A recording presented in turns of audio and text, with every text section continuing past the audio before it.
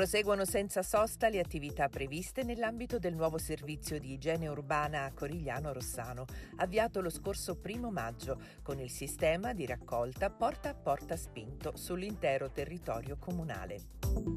Ecoros ha dato il via alla consegna e installazione presso gli uffici municipali di appositi EcoBox per la separazione di carta, cartone, plastica, alluminio e acciaio.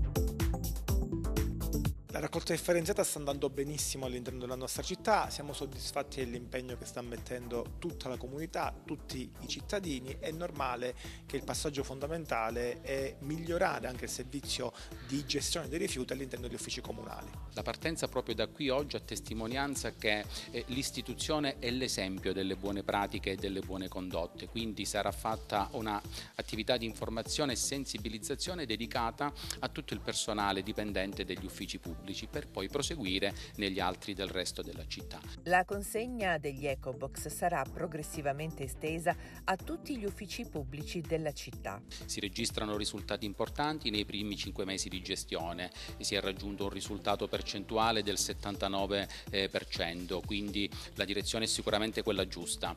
Dobbiamo tanto lavorare fuori dagli uffici comunali contro gli abbandoni e il messaggio è proprio questo, di non abbandonare i rifiuti in mezzo alla strada e di continuare a differenziare all'interno delle abitazioni e delle attività commerciali.